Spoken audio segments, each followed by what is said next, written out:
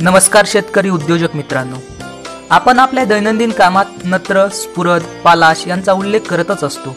त्याचबरोबर त्याचा वापरही करत असतो. आपण त्याच नत्र स्फुरद आणि पालाश याबद्दल आज थोडक्यात माहिती घेणार आहोत. नत्र स्फुरद पालाश यांची अनुक्रमे नायट्रोजन फॉस्फरस आणि पोटॅशियम अशी शास्त्रीय नावे आहेत.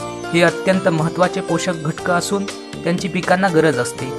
हे घटक शेतीला मातीतून मिळत असतात. त्याचबरोबर आपण काही रासायनिक आणि सेंद्रिय खतांद्वारेही हे देत असतो. हे घटक इतके महत्त्वाचे असतात की याविना पिकांची नीट वाढ होऊ शकत नाही.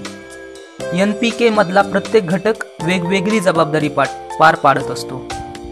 त्यामध्ये नत्र म्हणजेच नायट्रोजन हे पिकाच्या पानासा पा, पानांच्या वाढीसाठी जबाबदार असते. म्हणजे नत्र दिल्याने पिकांच्या पानांची वाढ चांगली होते आणि पाने हिरवीगार राहतात. ज्याप्रमाणे प्रथिने म्हणजेच प्रोटीन्स मानवाच्या शरीराला उपयोगी असतात त्याचप्रमाणे पिकांनाही त्याची गरज असते जे की नत्रातून मिळतात. जर पिकाची पाने पिवळी दिसत असतील तर नत्राची कमतरता आहे हे जाणून घ्यावे. पेशी विभाजनामध्ये नत्राचा उपयोग होत असतो. पुढचे पोषक घटक आहे स्फुरद म्हणजेच फॉस्फरस. स्फुरद हा घटक पिकांच्या मुलांच्या वाढीसाठी त्याचबरोबर फुलं आणि फळं यांच्या वाढीसाठी गरजेचा असतो. पिकाच्या प्रजनन चक्रामध्ये स्फुरद अत्यंत गरजेचं असतं. स्फुरदमुळे प्रकाश संश्ले संश्लेषण क्रिया उत्तम प्रकारे होत असते आणि यामुळेच पिके कार्बन डायऑक्साईड घेऊन ऑक्सिजन तयार करण्याचे काम चांगल्या प्रकारे करतात. पुढील घटक आहे पालाश म्हणजेच पोटॅशियम.